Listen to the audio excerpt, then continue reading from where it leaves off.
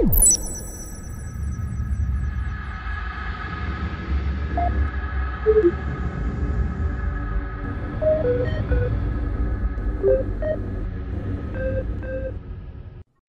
the Imperium's most disciplined of warriors, the organizational structure of the 13th Legion was a thing of beauty to appreciators of military organization.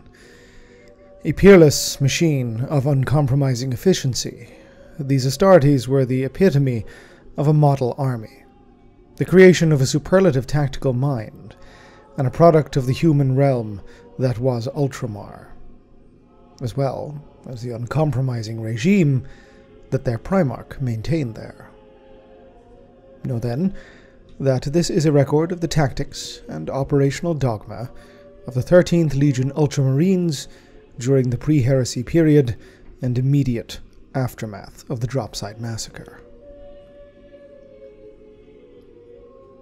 From their inception, the 13th Legion were quintessentialists of the strictures laid down by that famous work of Terran military organization, the Principia Bellicosa.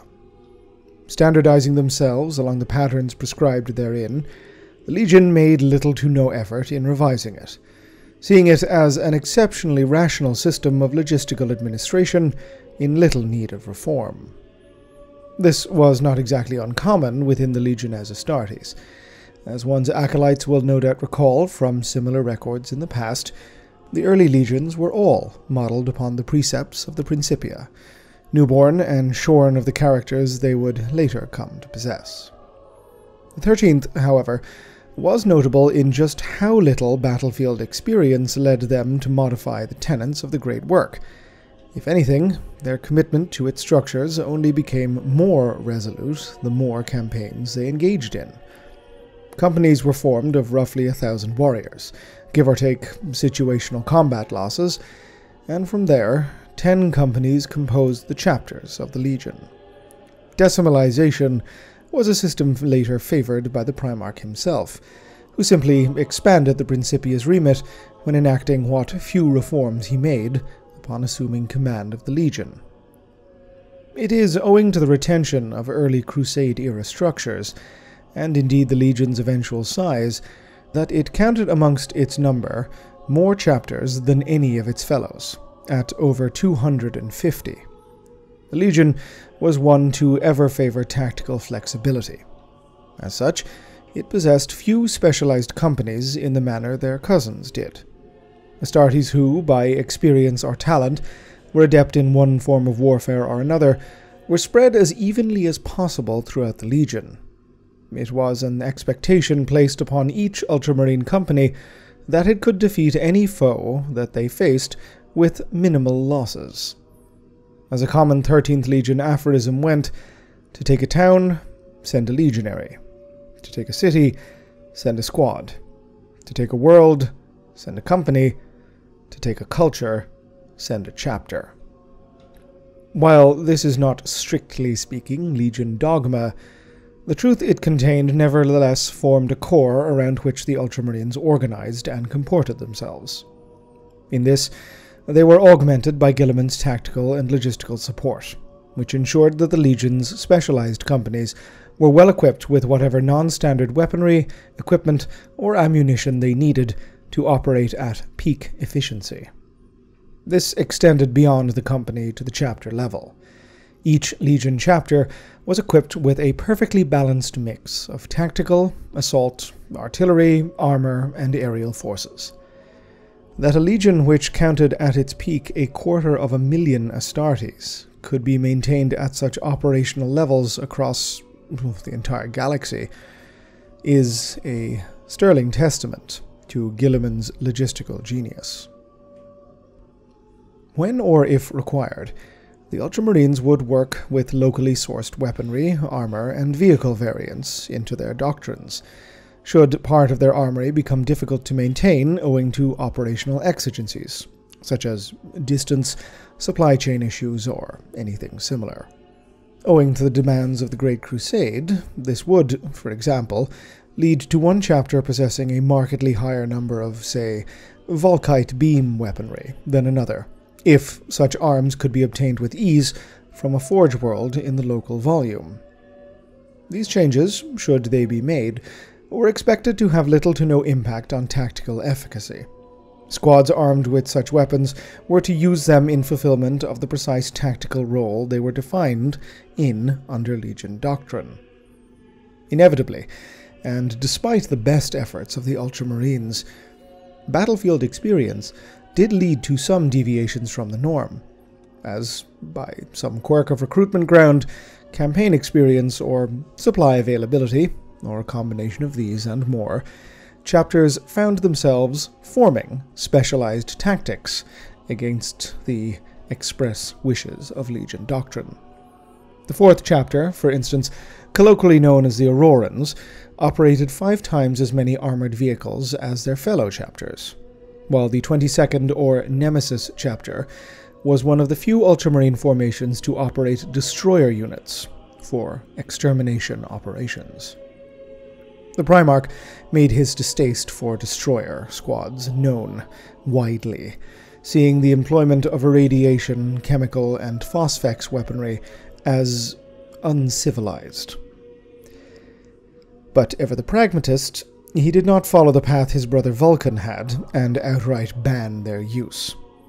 Guilliman's mind knew that depriving his warriors of such arms would harm the potential tactical efficiency, and potentially place his Astartes at risk if their employment was necessary.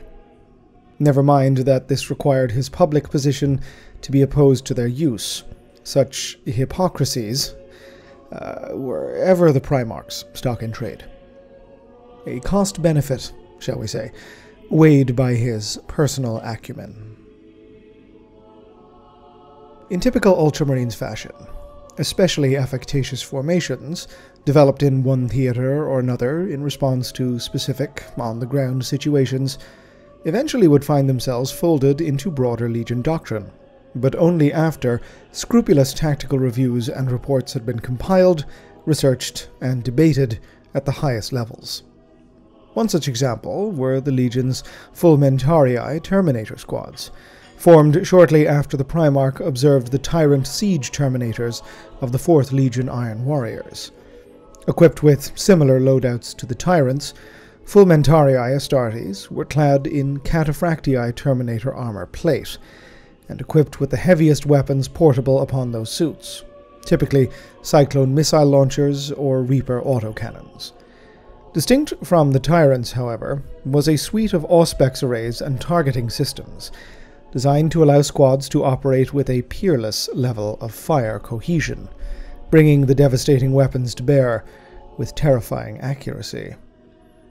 The creation of these squads was said to have been a point of distinct bitterness for the 4th Legion's Primarch Perturabo, who is rumored to have stated to Guilliman in a missive that such behavior was precisely what distanced the Ultramarines Primarch from so many of his brothers. The 500 worlds of Ultramar, serving as a base of operations far larger than any other legion counted under their direct control, allowed the Ultramarines, in combination with their extensive supply chains, to maintain a higher than average number of all armored vehicle patterns available to the Legiones Astartes. In typical 13th Legion fashion, these numbers were sustained in a well balanced spread of vehicle classes and roles, and while the Legion would never, even with its size, possess the armored core of the 4th Legion Iron Warriors or 10th Legion Iron Hands, they could always call upon the precisely required number of vehicles for any given operation. Should a mechanized push be called for, all chapters possessed enough Rhino armored carriers to transport every Astartes capable of riding in those machines. Similarly, the requisite amount of Land Raider and Spartan main battle tanks were available to process doctrinally armored spearhead assaults, under rapid moving covering fire supplied by Sicaran support tanks, or perhaps in the wake of a bombardment by Legion whirlwinds or basilisks. Where the Legion chapters would differ is in the expertise level. The aforementioned fourth chapter, the Aurorans, proved exceptional at prosecuting armored warfare with super heavy Glaive and Falchion destroyer tanks. Where the 13th notably lagged behind others was in the numbers of starships at their direct disposal. Never one to claim mastery over areas he admittedly knew little, the Primarch, known to favor close operational coordination with other Imperial forces, deferred to what he saw as the experience and calling of the Imperialis Armada, the fleet arm of the Excertus Imperialis human auxiliary. Guilliman routinely seconded himself to Navy wings if heavy capital ship actions were required for a space based conflict, preferring instead to outfit the Legion's own ships for invasion operations, and, if needed, near void engagements. As such, the Legion could, even at its height, only count 30 to 35 heavy capital ships under its direct control, the vast majority of which had been with the 13th since they had left Terra at the beginning of the Great Crusade. Even of these, many had been heavily repaired and retrofitted over these two centuries, notably in the aftermath of the pre reunion conflict in the Osiran cluster. While the Legion did, by the outbreak of the heresy, possess two Gloriana class battleships, including the Macragge's Honor, the 26 kilometer long behemoth that sat amongst the largest of her class, the bulk of its fleet were cruisers and battle barges of medium tonnage, as well as a large number of purpose built strike cruisers, outfitted for speed and carrying capacity.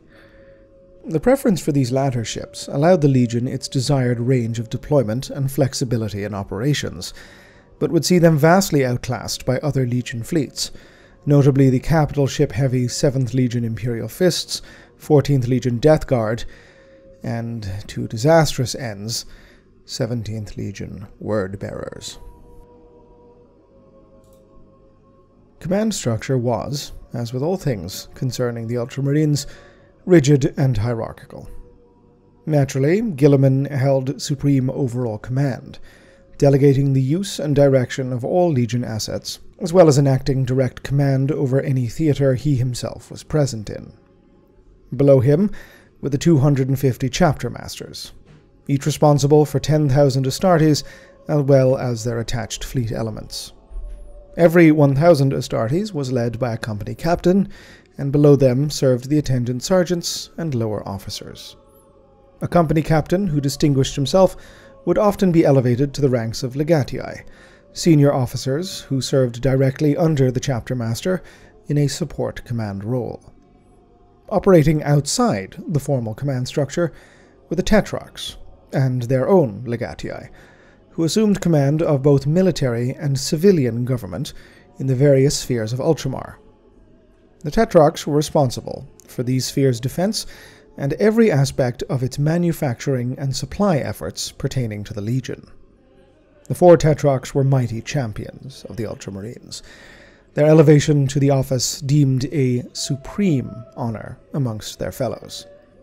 They were guarded by the Legion's elite warrior cadre, the Suzerain Invictarii squads, veterans who would take to the battlefield clad in artificer crafted power armor and bearing arms as the warriors of old did a power axe and a boarding shield. However, these elites were not simply elevated to their positions on martial merit alone.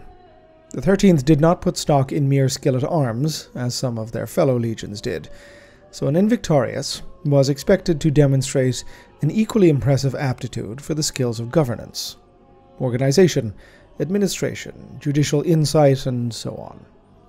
The Invictarii were expected to aid the Tetrarchs in governing their respective spheres of control in Ultramar, and could themselves be expected to one day rise to the ranks of legatus or even further. Squads of suzerains arrayed for warfare could also be found seconded to legion chapters when their skills at war-making were most needed, or when the Invictarii themselves requested frontline duty to gain further battlefield or command experience in the ever fluctuating front lines of the Great Crusade. Lastly, one final organization, ill understood but known to have existed, conducted its affairs in the shadows of the Legion's most prominent members. The Vigil Operatii, founded by Guilliman himself as he crafted the structure of his domain, was a clandestine arm of Ultramar's authoritarian regime, operating to silence internal threats deemed too dangerous to simply be processed by the just cause of the Primarch's ironclad legal system. The Operatii were, in effect, a secret police, and coordinated heavily with both the Legion and Excertus intelligence operations, bending their considerable talents to the uncovering of and silencing of dissent and ideological impurity that may have sought to question Guilliman's regime. Additionally, and more publicly, they coordinated recruitment, training, and deployment of human auxiliary regiments and planetary defense militias, although naturally deferring to Legion command should the latter require the use of these forces.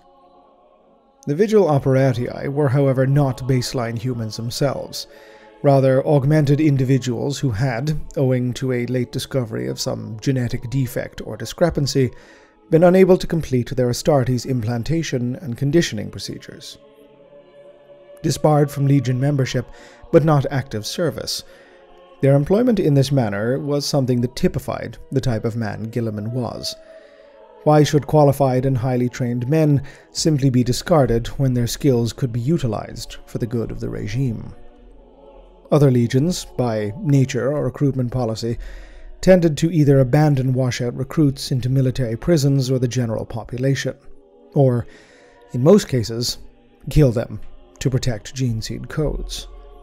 Guilliman was, perhaps understandably, of a different vein, and doubtless the presence of Ultramar as a military regime allowed such men to find a place more readily. No other legion operated the same stellar government that the 13th did. Regardless of however tangentially related to Legion Command they were, the Operatii were a supremely useful arm of Ultramarian internal affairs, especially during the dark days of the Shadow Crusade and the spread of cultist operations conducted by Lorgar and his word bearers. Even more direct Legion recruitment was undertaken by a specialized formation within the 13th known as the Evocatii. Originally introduced by the Legion's first master, Gren Vesotho, it was later reorganized and renamed into its modern incarnation. Composed of two double strength chapters, the Evocatii ranks were filled with Legion neophytes at various stages of their Astartes conditioning and implantation processes, while Legion veterans rotated out of regular duties, forming what passed for a dual officer and teacher corps. The late Commander Vesotho was fond of blooding these neophytes on the front lines of 13th Legion campaigns. Guilliman's approach was far more restrained, assigning them to defensive positions on border planets in Ultramar's volume, where they could operate both as a primary line of defense and undergo a strict regime of training exercises and mimetic habituation. Depredations of orc raiders and other Xenos incursions meant these neophytes were rarely in need of opportunities for combat experience, but were never overwhelmed to the same degree that they would have been under Vesotho's command. That is, of course, until the events of the Shadow Crusade. In the strategic sphere, the Ultramarines were renowned for their inbuilt tactical flexibility, extending from the squad level to the chapter and indeed Legion command. This tractability was rooted in the Legion's paramount maxim of the interplay between the practical and theoretical, a creed developed by the Primarch himself. Already psychologically inclined towards its practice, Guilliman elevated it to doctrinal levels. Under its strictures, the Ultramarine is expected to consistently apply the tenets of logic, analysis, and reason in his best efforts to eliminate the deficiencies within any military situation. This could apply, again, on the level of a squad engaging a Xenos mob on the desert of an unknown world, or to the chapter captains planning theater wide stratagems. The courage, skill at arms, and self control of an Astartes was present in the practical, while in the theoretical lay his planning, scrutiny, and judgment. A common exercise amongst Ultramarines in downtime between engagements was to debate hypothetical scenarios with each other, applying the rigors of practical and theoretical to better understand both themselves and those they served alongside. While such strategic deliberations are of course not unique to the 13th Legion, and the spirit of animated discussion regarding the arts of war was alive and well in other legions, the Ultramarines were unique in how their philosophy was deliberately fashioned to improve not only the individual's tactical knowledge, but that of the Legion as a whole. As the sands of Istvan V were being soaked with the blood of betrayed legions, the Ultramarines represented a staggering 250,000 legionaries present in the Imperium itself. Primarily, they were spread over expeditionary fleets in the galactic south and east. Of this number, Guilliman recalled 20 whole chapters, four fifths of the Legion's strength, to a muster at Calth, ostensibly on the orders of War Master Horus. There, the Legion was expected to move onward and commit the bulk of its forces to the prosecution of the Greenskin Empire of the warlord Gashlak, alongside the recently swelled 17th Legion word bearers. That there in the closing days of the Great Crusade existed a foe that required the almost total commitment of two of the largest Astartes legions was patently absurd, but it was understood that in the higher echelons of the Imperium there existed a diplomatic effort by Horus to forge a bond between the Primarchs Lorgar and Guilliman, neither of whom counted the other in high esteem or friendship. Guilliman, ever the trustful and obedient brother, welcomed Lorgar with open arms. It was a mistake for the ages, and shall no doubt be committed to a record very soon. Ave Imperator, Gloria in excelsis terra. This video and this channel were made possible thanks to the very kind donations and support from my Patreon subscribers. If you'd like to help support the channel, head on over to patreon.com slash oculusimperia. If you'd like to receive more updates about the channel and any future videos, you can contact me or follow me on Twitter at Oculus Imperia. Otherwise, please like, subscribe, comment, let me know your feedback, and as ever, thank you very much for watching.